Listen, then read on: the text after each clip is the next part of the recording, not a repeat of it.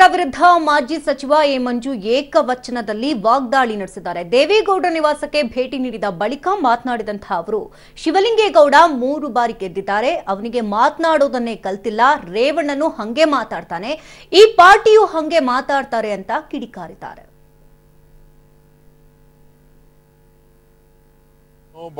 ಮೂರು ಸತಿ L A ಯಾವ ಪದ ಉಪಯೋಗಿಸಬೇಕು ಅನ್ನೋದನ್ನ ಅವ್ರು ಕಲ್ಸೇ ಇಲ್ಲ. ರೇವಣ್ಣ ಹಂಗೆ ಮಾತಾಡ್ತಾನೆ, ಅವ್ರು ಹಂಗೆ ಮಾತಾಡ್ತಾರೆ. ಅಥವಾ ನಾವು ಮಾತಾಡಕ್ ಇಷ್ಟಪಡೋದಿಲ್ಲ. ನಾನು ಬಾಬಾ ಮೂರು ಸತಿ ಎಂ ಎಲ್ ಎ ಆಗಿದ್ದಾನೆ.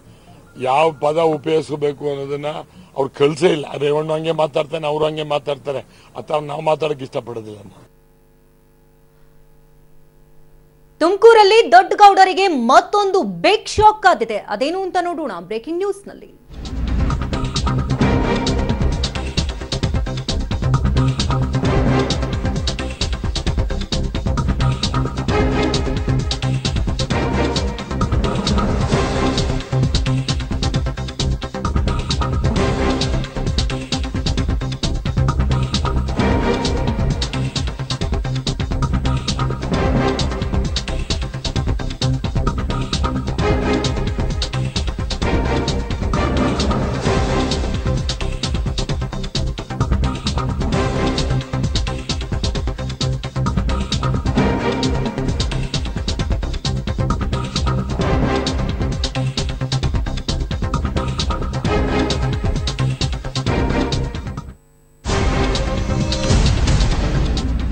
ತಮ್ಮ ಸ್ವಕ್ಷೇತ್ರವನ್ನ ಮೊಮ್ಮಕ್ಕಳಿಗೆ ಬಿಟ್ಟುಕೊಟ್ಟ ನಂತರ ಸಾಕಷ್ಟು ಅಳೆದು ತೂಗಿ ತುಮಕೂರು ತುಮಕೂರು ಕ್ಷೇತ್ರವನ್ನ ದೊಡ್ಡಗೌಡರು ಆಯ್ಕೆ ಮಾಡಿಕೊಂಡ್ರು. ಆದ್ರೆ ಅವರ ಹಾದಿ ಸುಗಮವಾಗಿಲ್ಲ ಅನ್ನೋದಕ್ಕೆ ಮತ್ತೊಂದು ಮತ್ತೊಂದು ಬಿಗ್ ಶಾಕ್ ಅವರಿಗೆ ಸಿಗ್ತಾ ಇದೆ. ಒಂದ್ ಕಡೆ ಮುದ್ದ ಹನುಮೇಗೌಡರು ಬಂಡಾಯ ಎದ್ದಿದ್ದಾರೆ.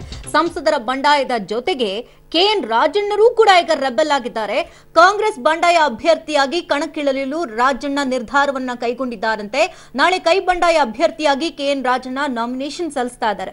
ಒಂದ್ ವೇಳೆ ಮುದ್ದ ಹನುಮೇಗೌಡರು ನಾಮಪತ್ರವನ್ನೇನಾದರೂ ವಾಪಸ್ ಪಡೆದುಕೊಂಡ್ರೆ ಗೌಡರ ವಿರುದ್ಧ ಗುಟ್ರು ಹಾಕಲು ಸೈ ಎಂದಿದ್ದಾರೆ ಕಾಂಗ್ರೆಸ್ ರೆಬೆಲ್ ರಾಜಣ್ಣ. ಅತ್ತ ಡಿಸಿಎಂ ಕರೆದ ಸಭೆಗೆ ಮುದ್ದ ಹನುಮೇಗೌಡರ ಬಣದ ಗೈರು ಸಾಧ್ಯತೆ ಕೂಡ ದಟ್ಟುವಾಗಿದೆ. ಎಸ್, ತುಮಕೂರಲ್ಲಿ ದೊಡ್ಡ ಗೌಡ್ರಿಗೆ ಇದು ಮತ್ತೊಂದು ರೀತಿಯ ಶಾಕ್. ಒಂದು ಕಡೆ ಮುದ್ದ ಹನುಮೇಗೌಡರ ಬೆನ್ನಲ್ಲೇ ರಾಜಣ್ಣ ಈಗ ರೆಬೆಲ್ ಆಗಿ ನಿಂತಾರೆ. ಅಂದ್ರೆ ಗೌಡ್ರ ಮನೆಯಲ್ಲಿ ಬಿಕ್ಕಟ್ಟು ಶಮನಕ್ಕೆ ಒಂದು ರೀತಿ ಸರ್ಕಸ್ ಆಗ್ತಾ ಇದ್ರೆ ಒಂದು ಕಡೆ ಟ್ವಿಸ್ಟ್ ಮೇಲೆ ಟ್ವಿಸ್ಟ್, ಶಾಕ್ ಮೇಲೆ ಶಾಕಿಂಗ್ ನ್ಯೂಸ್ಗಳು ದೊಡ್ಡಗೌಡ್ರಿಗೆ ಸಿಗ್ತಾ ಇರ್ತಕ್ಕಂಥದ್ದು. ಅಖಾಡ ಮತ್ತಷ್ಟು ರಂಗೇರ್ತಾ ಇದೆ. ತುಮಕೂರು ಅಖಾಡ. ಅಷ್ಟ ಅವ್ರು ಅಂದುಕೊಂಡಷ್ಟು ರೀತಿಯಲ್ಲಿ ಸುಲಭವಾಗಿಲ್ಲ ಅನ್ನೋದು ಇದರಲ್ಲಿ ಸ್ಪಷ್ಟ ಚಿತ್ರಣ ಈಗ ಸಿಗ್ತಾ ಇರ್ತಕ್ಕಂಥದ್ದು. ಒಂದು ಕಡೆ ಗಂಗೆ ಶಾಪ ಅಂತಾರೆ, ಮತ್ತೊಂದು ಕಡೆ ಕಾಂಗ್ರೆಸ್ನವರೇ ಅಂದ್ರೆ ಮೈತ್ರಿ ದೋಸ್ತಿಗಳೇ ಬಂಡಾಯ ಇದ್ದಿರೋದ್ರಿಂದ ಸಾಕಷ್ಟು ಹೊಡೆತ ಬೀಳುವಂತಹ ಸಾಧ್ಯತೆಗಳು ಕೂಡ ದಟ್ಟವಾಗಿದೆ. ಒಂದು ಕಡೆ ಮುದ್ದ ಹನುಮೇಗೌಡರು ಬಂಡಾಯ ಇದ್ದಿದ್ರೆ ಸಂಸದರ ಬಂಡಾಯದ ಜೊತೆಗೆ ಕೆ ಎನ್ ರಾಜನ್ ಒಂದ್ ವೇಳೆ ಏನಾದ್ರೂ ಮುದ್ದ ಹನುಮೇಗೌಡರು ನಾಮಪತ್ರವನ್ನೇನಾದ್ರೂ ವಾಪಸ್ ಪಡೆದುಕೊಂಡ್ರೆ ಗೌಡ್ರ ವಿರುದ್ಧ ತೊಡೆ ತಟ್ಟೋದೆ ಅವರ ಗುಟ್ಟು ಅವರ ಅವರ ಎದುರು ಗುಟ್ರು ಹಾಕೋಕೆ ಸೈ ಅಂತ ಈಗಾಗಲೇ ಕಾಂಗ್ರೆಸ್ ರೆಬೆಲ್ ಶಾಸಕ, ರೆಬೆಲ್ ಮಾಜಿ ಶಾಸಕ ರಾಜಣ್ಣ ಈಗ ಗುಟ್ರು ಹಾಕ್ತಾ ಇದ್ದಾರೆ. ನೋಡ್ಬೇಕು, ಈ ಅಖಾಡ ಈಗ ಮತ್ತಷ್ಟು ಟ್ವಿಸ್ಟ್ ಅಂಡ್ ಟರ್ನ್ಸ್ ಅನ್ನು ಪಡೆದುಕೊಳ್ತಾ ಇದೆ. ನಾಳೆ ನಾಮಿನೇಷನ್ ಸಲ್ಲಿಸೋದಕ್ಕೆ ದೊಡ್ಡಗೌಡರು ಸಿದ್ಧತೆಯನ್ನು ಕೂಡ ಈಗಾಗಲೇ ನಡೆಸ್ಕೊಂಡಿದ್ದಾರೆ. ಇದರ ಬೆನ್ನಲ್ಲೇ ಶಾಕಿಂಗ್ ಮೇಲೆ ಶಾಕಿಂಗ್ ನ್ಯೂಸ್ಗಳು ಅವ್ರಿಗೆ ಸಿಗ್ತಾ ಇದೆ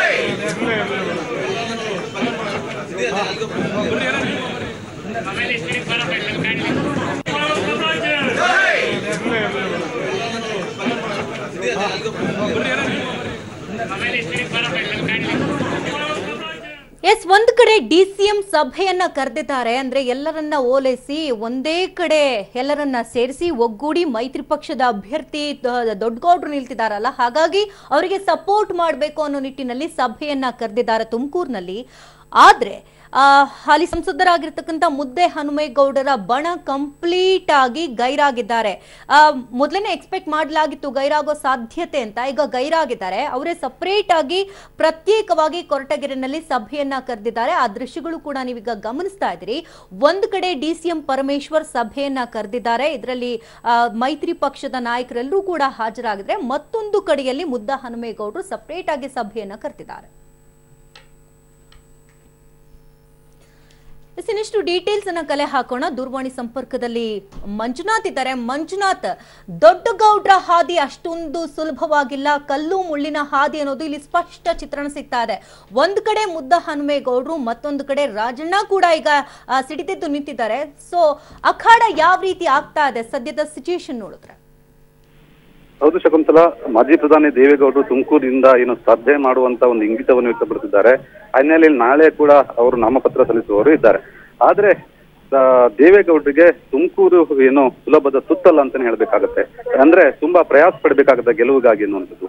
ಒಂದು ಎರಡನೇದಾಗಿ, ದೋಸ್ತಿ ಪಕ್ಷದಲ್ಲಿನ ಏನು ಕಾಂಗ್ರೆಸ್ನಲ್ಲಿ ಈಗ ಬಂಡಾಯ ಎದ್ದಿರುವಂತದ್ದು ಅಂದ್ರೆ ಹಾಲಿ ಸಂಸದರಾದಂತಹ ಮುದ್ದಮ್ಮೇಗೌಡರಿಗೆ ಟಿಕೆಟ್ ಕೈ ತಪ್ಪಿರೋದ್ರಿಂದ ಇಡೀ ಏನು ಕಾಂಗ್ರೆಸ್ನ ಮುಖಂಡರೆಲ್ಲ ಅಸಮಾಧಾನಗೊಂಡಿರುವಂತದ್ದು ಕಾಂಗ್ರೆಸ್ನ ಕಾರ್ಯಕರ್ತರು ಕೂಡ ಅಸಮಾಧಾನಗೊಂಡಿರುವಂತದ್ದು ಈ ನೆಲೆಯಲ್ಲಿ ಮುದ್ದನ್ಮೇಗೌಡರು ಈಗಾಗಲೇ ಏನು ಬಂಡಾಯ ಅಭ್ಯರ್ಥಿಯಾಗಿ ತಾನು ಸ್ಪರ್ಧೆ ಮಾಡ್ತೀನಿ ಅನ್ನುವಂತ ಒಂದು ಹೇಳಿಕೆಯನ್ನು ಕೊಟ್ಟಿದ್ದಾರೆ. ಅವರು ಕೂಡ ನಾಳೆ ನಾಮಪತ್ರ ಸಲ್ಲಿಸಕ್ಕೆ ಎಲ್ಲ ತಯಾರಿ ಮಾಡಿಕೊಂಡಿದ್ದಾರೆ. ಈ ನಡುವೆ ಇವತ್ತು ಏನು D C M G Parameshwara ನೇತೃತ್ವದಲ್ಲಿ ಖಾಸಗಿ ಹೋಟೆಲ್ ತುಮಕೂರಲ್ಲಿ ಈಗ ಸಭೆ ನಡೀತಾ ಇದೆ. ಎಲ್ಲಾ ನಾಯಕರನ್ನ, ಕಾಂಗ್ರೆಸ್ ನಾಯಕರ, ಕಾಂಗ್ರೆಸ್ ಮುಖಂಡರ ಮನವೊಲಿಸುವಂತ ಒಂದು ಪ್ರಯತ್ನ ಮಾಡ್ತಾ ಇದ್ದಾರೆ. ಆದ್ರೆ ಈ ಸಭೆಗೆ ಹಾಜರಾಗಬೇಕಾಗಿತ್ತು ಏನ್ ಮುದ್ದನ್ಮೇಗೌಡರು ಆಗಿರ್ಬೋದು ಮತ್ತು ಕೆ ಎನ್ ರಾಜಣ್ಣ ಆಗಿರ್ಬೋದು. ಇಬ್ಬರು ಕೂಡ ಬಂದಿರಲಿಲ್ಲ. ಯಾಕಂದ್ರೆ ಇಬ್ಬರೇ ಈಗ ಬಂಡಾಯ ಅಭ್ಯರ್ಥಿಗಳು. ಕೆ ಎನ್ ರಾಜಣ್ಣ ಕೂಡ ಏನು ದೇವೇಗೌಡ ವಿರುದ್ಧವಾಗಿ ಕಾಂಗ್ರೆಸ್ನಿಂದ ಅಥವಾ ಬಂಡಾಯವಾಗಿ ಅಂದ್ರೆ ಸ್ವತಂತ್ರ ಅಭ್ಯರ್ಥಿಯಾಗಿ ಸ್ಪರ್ಧೆ ಮಾಡ್ಲಿಕ್ಕೆ ಎಲ್ಲಾ ರೀತಿಯ ಚಿಂತನೆ ನಡೆಸಿದ್ದಾರೆ ಮತ್ತು ಎಲ್ಲಾ ರೀತಿಯ ಸರ್ವ ತಯಾರಿಯನ್ನು ಮಾಡಿಕೊಂಡಿದ್ದಾರೆ. ಈ ಹಿನ್ನೆಲೆಯಲ್ಲಿ ಈ ಒಂದು ಅಸಮಾಧಾನವನ್ನು ಉಪಶಮನ ಮಾಡುವಂತಹ ನಿಟ್ಟಿನಲ್ಲಿ ಜಿ ಪರಮೇಶ್ವರ್ ಅವರು ಡಿ ಸಿಎಂ ಇವತ್ತು ಏನು ಸಭೆ ಕರೆದ ಈಗ ಸಭೆ ನಡೀತಾ ಇದೆ. ಆ ಸಭೆಗೆ ಇವರಿಬ್ರು ಕೂಡ ನಾಯಕರು ಬರಬೇಕಿತ್ತು ಬಂದಿಲ್ಲ. ಹಾಗಾಗಿ ಅವರು ತಮ್ಮ ತಮ್ಮ ಕ್ಷೇತ್ರದಲ್ಲಿ ಮುದ್ದನ್ಮೇಗೌಡರು ಕೊರಟಗೆರೆ ಕೊರಟಗೆರೆ ಕ್ಷೇತ್ರದಲ್ಲಿ ವಿಧಾನಸಭಾ ಕ್ಷೇತ್ರದಲ್ಲಿ ತಮ್ಮ ಆ, ಏನು ಕಾರ್ಯಕರ್ತರ ಮತ್ತು ಮುಖಂಡರ ಏನು ಅಭಿಪ್ರಾಯ ಸಂಗ್ರಹ ಮಾಡ್ತಾ ಇದ್ದಾರೆ, ಮತ್ತೆ ಬೆಂಬಲಿಸುವಂತಹ ನಿಟ್ಟಿನಲ್ಲಿ ಅವರನ್ನ, ಅವರಲ್ಲಿ ಮನವಿ ಮಾಡ್ಕೊಳ್ತಾ ಇದ್ದಾರೆ, ಕಾಂಗ್ರೆಸ್ ಕಾರ್ಯಕರ್ತರು ಮತ್ತು ಮುಖಂಡರಲ್ಲಿ.